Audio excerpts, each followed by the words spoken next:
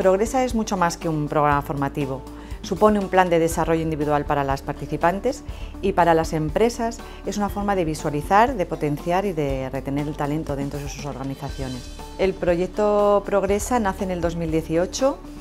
Actualmente estamos cursando la tercera edición del programa.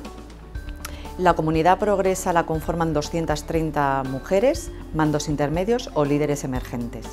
Las participantes del proyecto Progresa son mujeres generosas, con ganas de ayudar a, otras mujeres y con ganas de crecer dentro de sus compañías. Eh, estas características, más el espíritu que se genera de hermandad dentro del aula, es lo que conforma el espíritu Progresa.